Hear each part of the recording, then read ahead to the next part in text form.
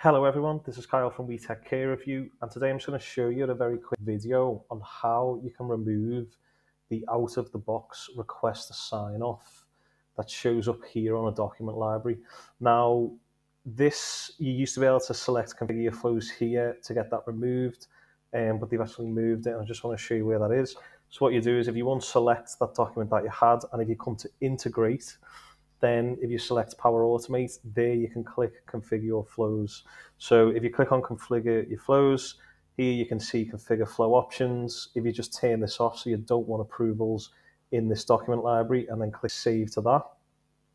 Uh, now what I'm going to do is just press F5 to refresh the screen.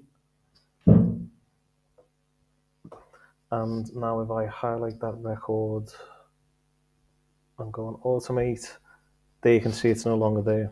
Uh, I hope this video helped. Please like and subscribe to the channel. Take care. Thank you.